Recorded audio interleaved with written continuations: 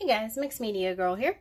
So I have my phone case that I am going to pour on and I did clean it and then I just taped it to try to prevent a lot of paint from going in it.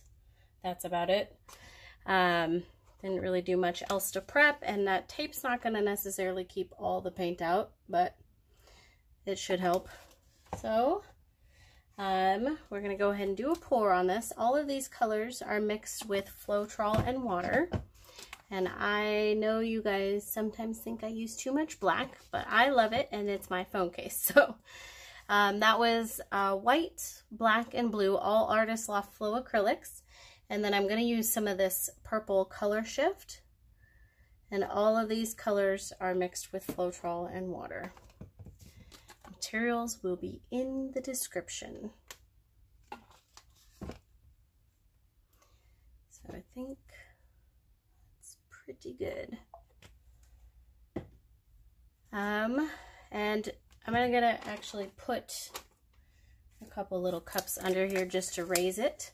Don't worry about the runoff paint because after this I have a dip project that I'm going to be doing with it. So here we go.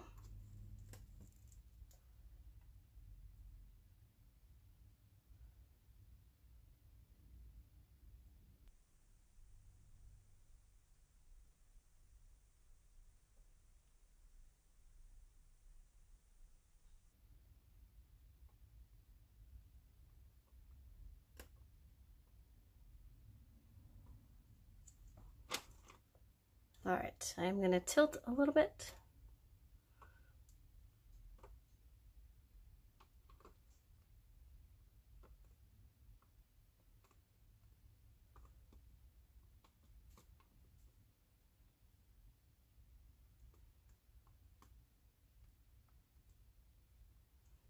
Awesome.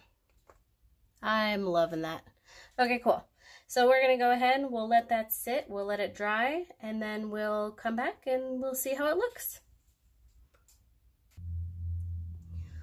All right, so we're back. Obviously, I took the tape off.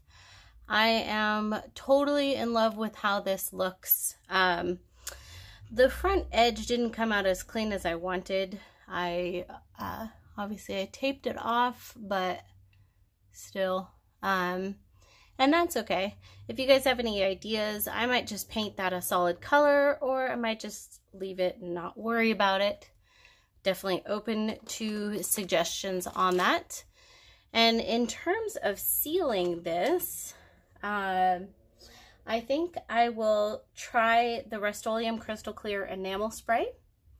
And if that doesn't work for some reason, like if it stays sticky or whatever, because uh, obviously this is something I'm going to hold all the time, then I will probably seal it with resin. For those of you who have done any cases before, I definitely welcome any input on that uh, in terms of what you, you seal it with. But that was a super easy project. Came out super beautiful. And now I have a very unique phone case that no one else will have. So I love it. Let me know what you guys think, and I will see you all next time.